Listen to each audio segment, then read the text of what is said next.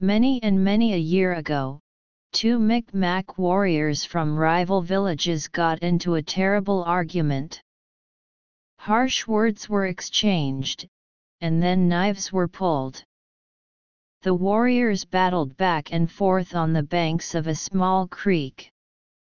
They fought with the ferocity of grizzlies, tearing at each other with their knives, ripping at each other's clothes and hair. Suddenly, one of the warriors slipped on the muddy bank and fell into the waters of the creek.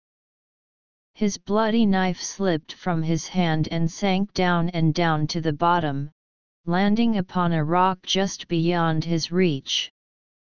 The warrior strained his pain-racked body towards the knife as his blood filled the waters of the creek, but it was just beyond his fingertips. He thrashed and clawed towards his knife, desperate to reach it before his rival killed him, but no matter how he stretched, it always slipped out of reach.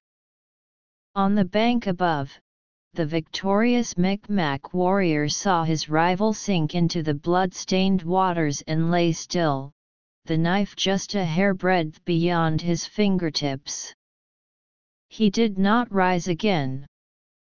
The fallen man's people found him a few hours later and tenderly rescued his body from the rippling waters of the creek.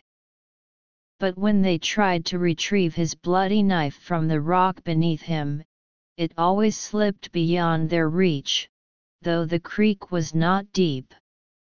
Many and many a year has passed since that bloody day by the creek, and still the blood-stained knife lies beneath the rippling waters of the creek. Whenever anyone tries to reach it, the knife slips out of reach. It is like trying to touch something on the bottom of the sea, although the creek itself is not deep. Even the rushing waters of the spring season do not move the mysterious knife or wash away the blood staining its blade. For this reason, the creek is called Wakan, meaning knife by the Micmac people, and the white men call it Bloody Creek.